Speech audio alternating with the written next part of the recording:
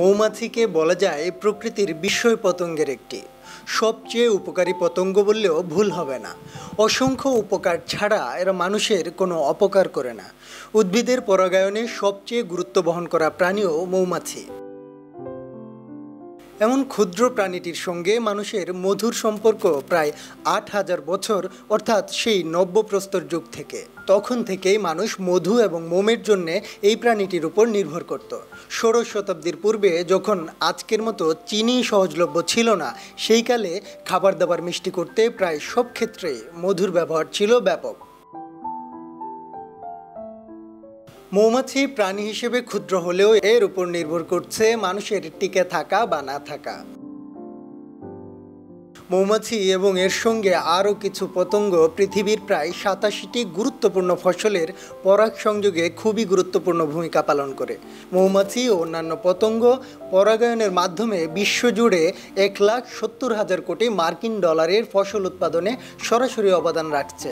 মানুষের খাবার জোগানোর এই ব্যাপক অবদানের জন্যেই হয়তো প্রাচীন গ্রিক পুরাণে মৌমাছিকে ঈশ্বরের দুধ এবং মৌরসকে অমৃত আখ্যা দেওয়া হয়েছিল।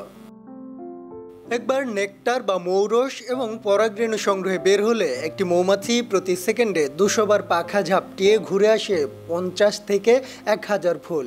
এক কেজি মধু উৎপাদনে কম করে হলেও ছয় হাজার মৌমাছির বিশাল কর্মযজ্ঞের প্রয়োজন হয়। এছাড়া প্রায় দুই সপ্তাহে ষাট লাখ ফুল থেকে মৌরস সংগ্রহ করতে হয়। এজন্যে তাকে চষে বেড়াতে হয় এক লাখ পঞ্চাশ হাজার কিলোমিটার, যা প্রায় চারবার পৃথিবী প্রদক্ষিণের সমান পথ। একটি মৌচাকে সত্তর হাজার মৌমাছি বছরে গড়ে ত্রিশ কেজি মধু উৎপাদন করে।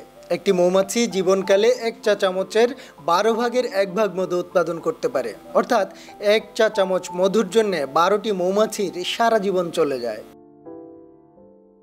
মধুর উপকারিতা আমরা সবাই কম বেশি জানি। গলা ব্যথা, বদহজম, ত্বকের যত্নে কাটা পড়ায় অনুজীবাণুনাশক হিসেবে মধুর ব্যবহার করা হয়।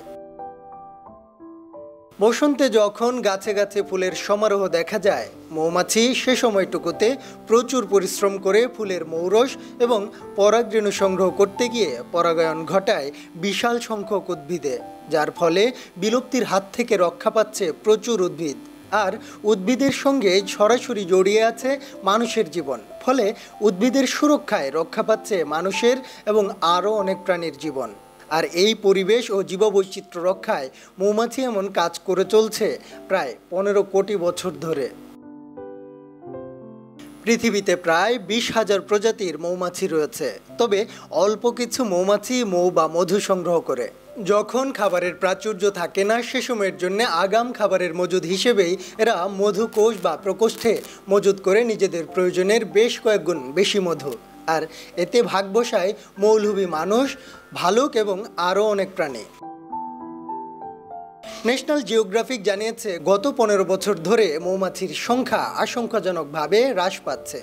বিশেষজ্ঞরা বলছেন, ইতিমধ্যে মৌমাছির সংখ্যা প্রায় চল্লিশ শতাংশ কমে গেছে।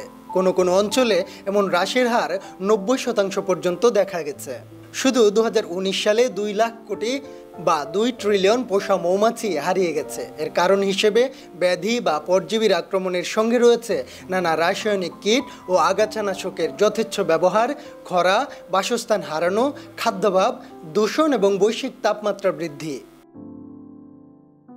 বিশেষজ্ঞরা সতর্ক করে বলেছেন, মৌমাছি ছাড়া মানব সভ্যতা টিকিয়ে রাখা সম্ভব নয়। তাই মৌমাছির মধু নয়, তার দিকেই আমাদের বেশি খেয়াল রাখতে হবে। কারণ বিশ্ব মানবতার প্রাণভোমরা লুকিয়ে আছে এই ছোট্ট ফুলপ্রেমী প্রাণীটির মধ্যে। City news, Dhaka.